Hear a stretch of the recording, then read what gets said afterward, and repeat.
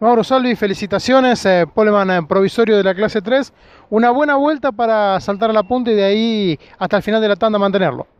Sí, buenas tardes. Eh, la verdad que sí, pude hacer una vuelta bastante redonda. Eh, dimos una sola vuelta para guardar la goma y la verdad que salió todo redondo. Salimos atrás de, de Bañera y de Alcaine. Y bueno, al salir de la recta a cuatro autos pudimos acortarle bastante en la recta y en el primero y el segundo parcial fueron muy buenos. Y después sabíamos que teníamos que cerrar la vuelta lo más prolijo posible y bueno, así se dio. Cerramos la vuelta y quedamos primero por 44 milésimas y acá estamos. ¿Cuál fue la fortaleza de Letius a lo largo de todo este viernes para llegar a esta pole?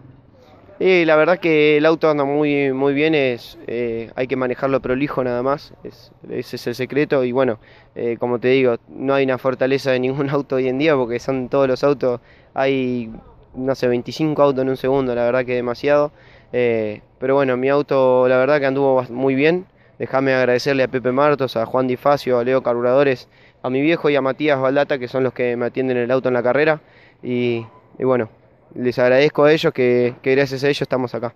Además, un viernes completo para el equipo porque Ángel hizo la pole provisoria en clase 2 y vos en 3, así que un viernes de festejo. Sí, un viernes de festejo, la verdad que es importante para, para Fabri y bueno, para mí también, obvio que estamos peleando el campeonato, pero bueno, más para Fabri que veníamos con, con problemas, que traía problemas presupuestarios, que le estaba costando y bueno, eh, hacer eh, la pole lo deja tranquilo para saber que por el camino que, que está yendo es muy bueno. ¿Pensando en mañana algún cambio? No, por ahora no, vamos a dejar el auto así como está. Eh, sabemos que mañana al ser más temprano va a refrescar y un poco por ahí se bajen los tiempos, pero bueno, eh, apostamos a que con el tiempo que, que hicimos eh, quedar entre los cinco primeros a nosotros nos sirve. Mauro, gracias por estar en Mundo Sport y que sea con éxito el resto del fin de semana. Muchas gracias Maxi y un saludo a toda la audiencia.